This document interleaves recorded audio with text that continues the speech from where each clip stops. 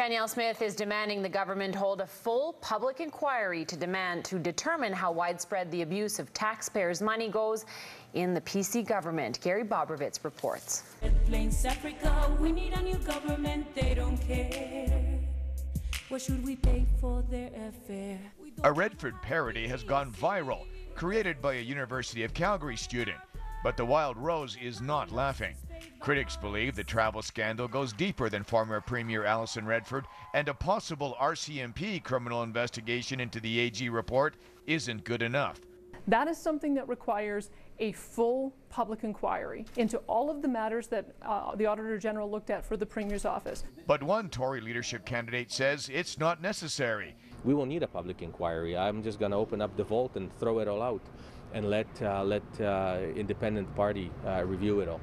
The Wild Rose claims a plane trip by Redford and a handful of cabinet ministers to Grande Prairie two years ago is a good example. The government said it was for official business, but the Auditor General says it was a partisan trip for the PC party. Electricity Minister Donna Kennedy Glans was on that trip in October 2012. The Calgary varsity MLA left the Tory caucus in a dispute with Alison Redford earlier this year. On Wednesday, she asked the caucus to forgive her and take her back. Today, she's asking for forgiveness again, this time from Alberta voters for being on that plane flight. Glans, who was on vacation, issued this written statement.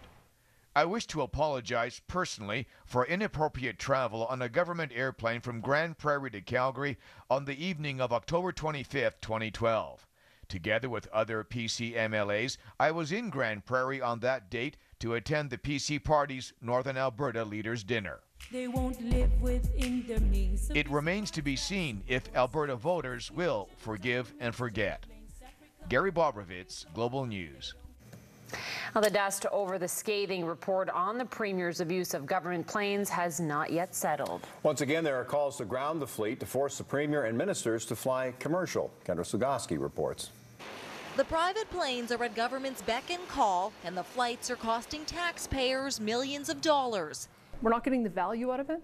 They're being abused. And we have a finance minister who doesn't think it's his job to oversee and make sure the policy is being followed. They should be sold. This isn't the first time government has been told to fly commercial. A decade ago, Ralph Klein was accused of using the planes as his personal air limousine service. The Public Accounts Committee questioned one of his trips. Is she calling me a liar? She doesn't believe me? It's You basic don't believe me? accountability, sir. You make You a don't believe statement me? and you back and you You provide don't believe me? The argument back then Alberta is a big place and ministers need to cover all corners of the province. The fingers have been dipping into the candy jar for over 30 years, and it's time to uh, remove the candy jar. But critics say Alberta is the only province still using government aircraft for business and, as the Auditor General points out, for pleasure. You can fly to Red Deer, for gosh sakes. Uh, you don't need an Air Force now. And uh, it's, it's part of the Alberta exclusivity. The Auditor General says the last cost analysis was done back in 2012 and it points to an additional cost of nearly $4 million. He says it's time for the PC government to consider if that cost is worthwhile to the taxpayer. It's a question we put Yeah, to and you know those what? vying to be the next right. premier. Uh, I, I think I can manage the office of the Premier without a plane. Throughout his campaign, Jim Prentice has said he would fly commercial and only use the government fleet if there was no other option.